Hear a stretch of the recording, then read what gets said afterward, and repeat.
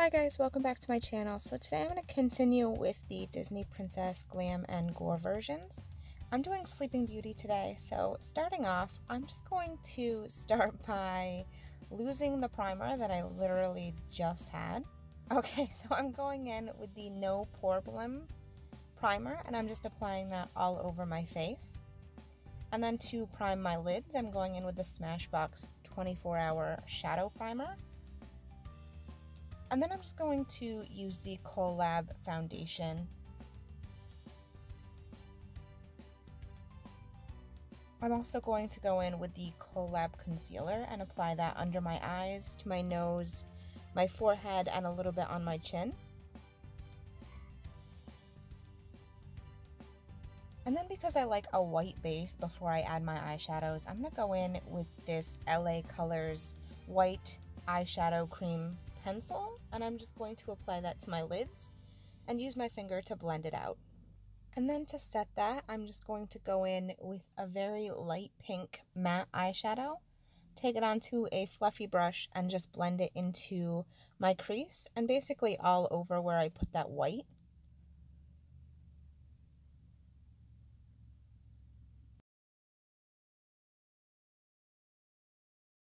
And then once that's done, I'm just going to go into the e.l.f. X J Kissa palette.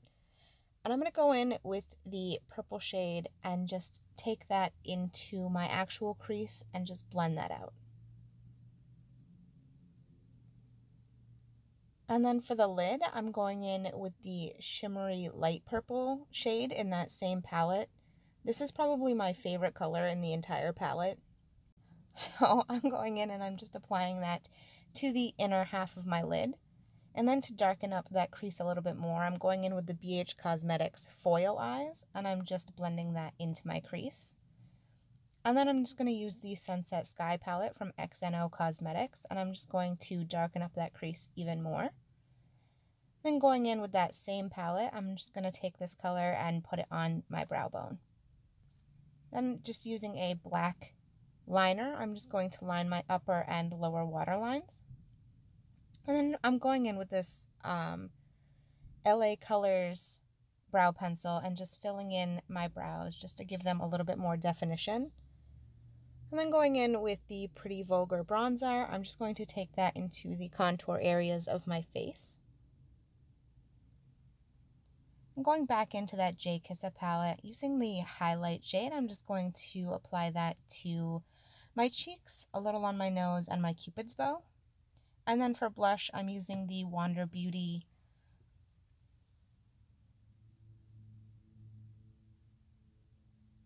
Then I'm just going to take a black liquid liner and create a wing.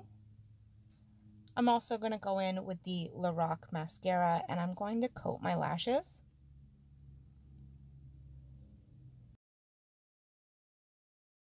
And then once that's done, I'm going in with some Ardell lashes and I'm just going to apply those.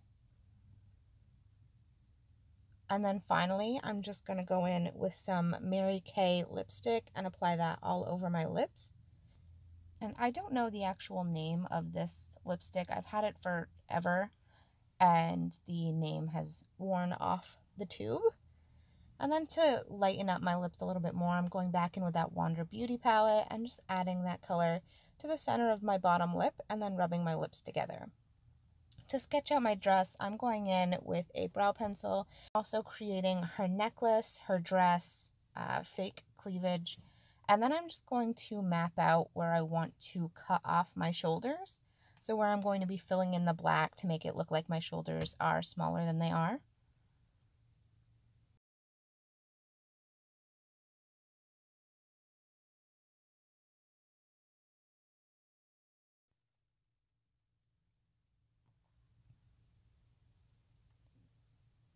And then before I go and fill everything in with paint, I'm going back into that Pretty Vulgar bronzer and I'm just going to take that onto a fluffy brush and apply that around everything to create the shadow.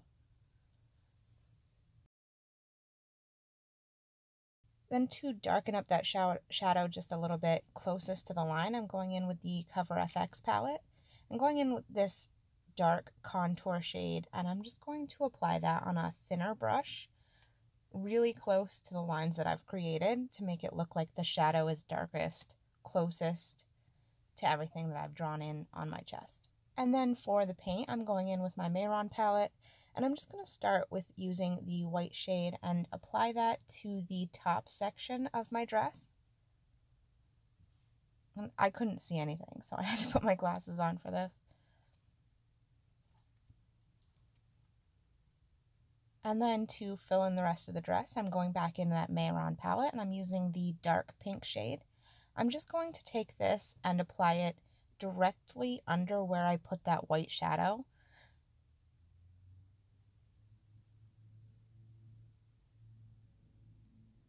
So once I have that top little bit done, I'm going in with the light pink shade from the Mehron palette and I'm just going to apply that to the rest of my dress and then blend it up into the other pink to kind of merge those colors together.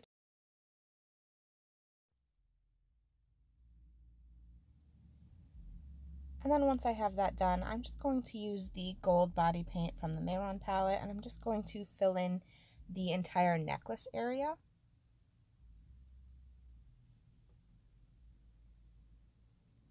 And then using a black body paint from Global Body Art, I'm just going to use that and fill in the sections on my shoulders that I want to be negative space.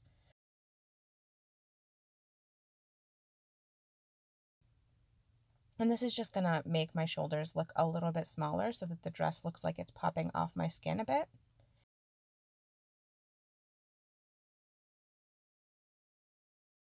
And then going back in with that Sunset Sky palette using this maroon shade, I'm just going to take that onto a thin brush and just put it as close to the white as I can to create a darker shadow on the pink dress.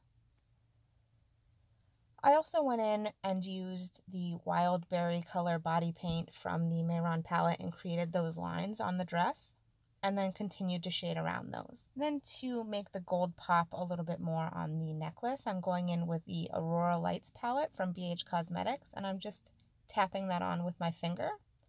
To outline the necklace, I'm using the dark brown body paint from the Mehron palette. And then I'm just going to apply a blonde wig and a crown that I made out of some cardstock.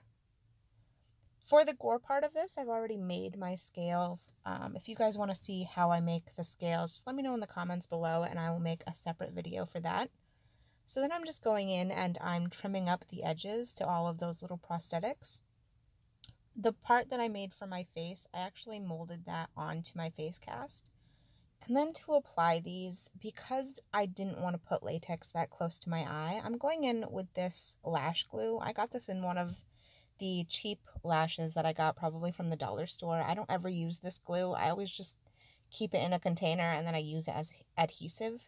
So I'm just putting that closest to my eye and then I'm going in with the latex and just patting that on to the rest of the area where I want to stick that prosthetic.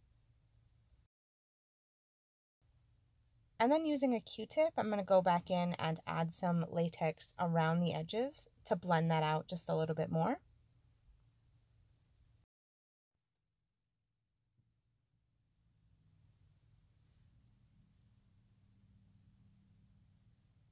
And then I'm just going to take the other two scale pieces that I've made and kind of map out where I want them on my chest.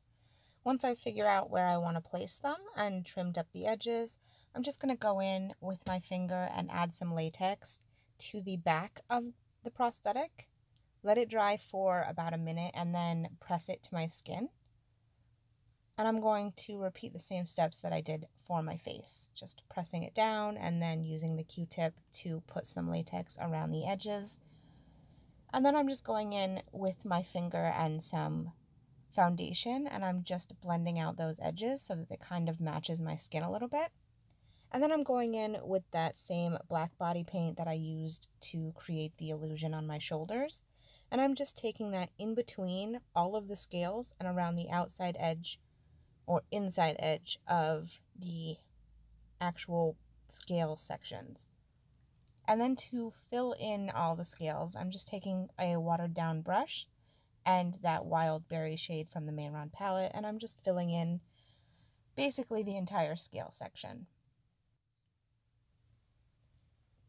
And then going back in with that J Kissa palette and the red shade, I'm just taking that and applying that to the crease on the side above the dragon scales.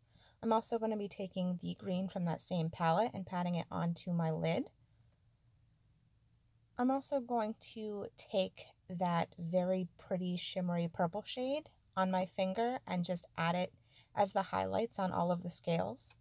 Then to darken up between the scales, I'm going back in with foil eyes and I'm using this dark gray shade and I'm just putting that in between all of the scales. And then to add a darker section on the scales, I'm going in with this purple shade and just adding it to the bottom half of all of the scales.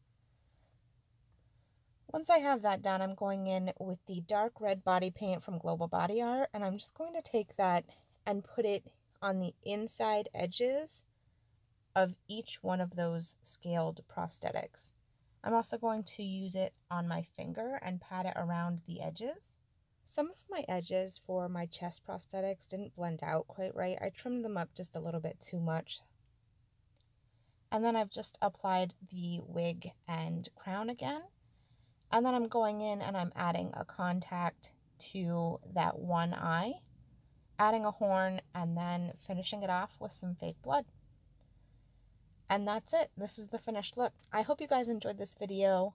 Be sure to turn on those notifications so that you get an update, and I will see you in the next one. Bye.